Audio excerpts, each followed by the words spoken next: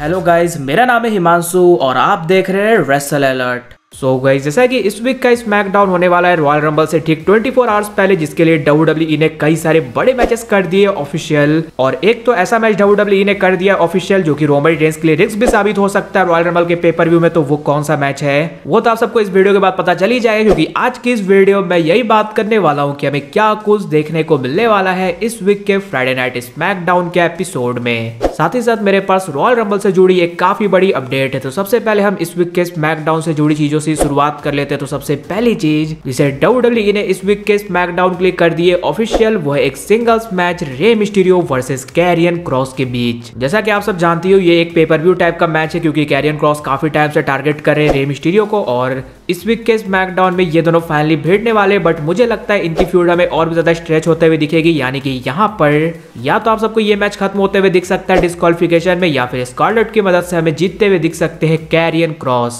जिसके बाद स्टिल हमें Carrion Kross and Rey Mysterio की फ्यूड कंटिन्यू रहते हुए दिखेगी। सो ये काफ़ी बड़ा मैच है। आपको क्या लगता है यहाँ पर किसकी जीत होने वाली है रे मिस्टीरियो या फिर कैरियन क्रॉस की? वो ज़रूर से नीचे कॉमेंट कर, बताना। इसके बाद नेक्स्ट मैचेस जो डब्ल्यू ने ऑफिशियल कर दिए वो जुड़ी हुई है स्मैकडाउन टैग टीम चैंपियनशिप के टूर्नामेंट से जो कि सेमीफाइनल्स मैचेस होने वाले और जो भी यहाँ पर जीतेगा वो टीम चली जाएगी फाइनल्स में। सो so, उसमें से सबसे पहला मैच है Drew McIntyre and Sheamus versus Hit Row के बीच। देन जैसा कि अभी ड्रू मैकेंटायर एंड सेमस की टीम काफ़ी अच्छा काम करी है तो मुझे नहीं लगता कि वो यहाँ पर हारने वाले एंड वो हमें यहाँ पर फाइनल्स में पॉसिबली जाते हुए दिखने वाले यानी कि वो हमें हराते हुए दिख सकते हैं हिट रो को। इसके बाद जो अपना दूसरा सेमीफाइनल मैच है वो हमें देखने को मिलने वाला है इंपेरियम वर्सेज लिकादो डेल फैंटास्मा के बीच। सो दोनों हिल टीम ही है और ये बता पाना काफ़ी ज़्यादा मुश्किल है कि यहाँ पर किसकी जीत होगी but still W Legado del Fantasma को अच्छा बुक करती है तो मुझे लगता है यहाँ पर उनकी ही जीत होने वाली है। और वो फाइनल्स में पहुंचकर फेस करने वाले हैं ड्रू मैकेंटायर एंड सेमस को।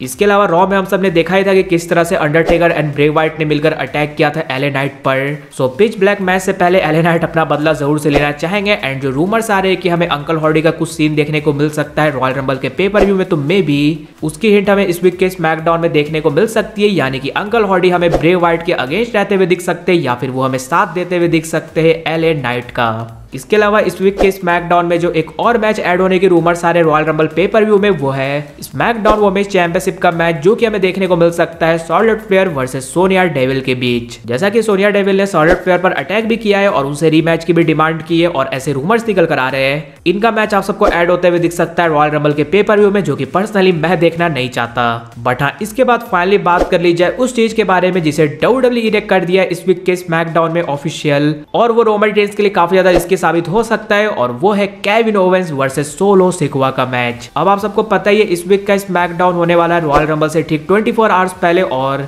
Royal Rumble pay per view में केविन ओवेंस को एक काफ़ी बड़ा मैच लड़ना है रोमन रेंस के साथ, जो कि है अनडिस्प्यूटेड डब्ल्यू यूनिवर्सल चैंपियनशिप के लिए। और अगर वो ठीक 24 फोर आवर्स पहले एक काफ़ी बड़े मैच में रेसल करते, जो कि आप सब जानते हो सोलो सिकवा के अगेंस्ट होने वाला है, जो कि एक हार्ड हिटिंग सुपरस्टार है। सो डेफिनेटली अगर कुछ भी प्रॉब्लम होती है तो उसकी इफ़ेक्ट हमें देखने को मिल सकती है अनडिस्प्यूटेड चैंपियनशिप मैच में डब्ल्यू अभी रोड टू रेसल मेरिया में कुछ भी गड़बड़ नहीं करना चाहेगी रोमन रेंस के प्लान्स में। इसलिए मुझे लगता है इस मैच को डब्ल्यू ज़्यादा फाइव स्टार बनाने के बारे में नहीं सोचेगी। यहाँ पर हमें ब्लड लाइन अपने इंटरफेरेंस करते हुए दिख सकते हैं एंड वो अटैक कर सकते हैं कैविन ओवेंस पर एंड आप सबको पता ही है। लास्ट वीक के स्मैकडाउन में तो कैविन ओवेंस ने अकेले ही पूरे ब्लड लाइन पर अटैक किया था रोमन रेंस पर भी अटैक किया था तो रोमन रेंस भी हमें इस वीक के स्मैकडाउन में देखने को मिल सकते हैं, जो कि कैविन ओवेंस पर अटैक कर अपना लास्ट वीक के अटैक का बदला लेते हुए दिख सकते हैं। एंड अपना फाइनल मैसेज सेंड कर सकते हैं। ठीक रॉयल रंबल से पहले। सो so गाइस यही थे वो कुछ बड़ी चीज़ें जो कि हमें इस वीक के स्मैकडाउन में देखने को मिल सकती है। वैसे, अगर इस वीक के स्मैकडाउन में हमें Roman Reigns and Kevin Owens का ब्रॉल देखने को मिलता है तो आपको क्या लगता है इस बार अपर हैंड किसे मिलने वाला है? फिर से केविन ओवेंस को या फिर रोमन रेंस को?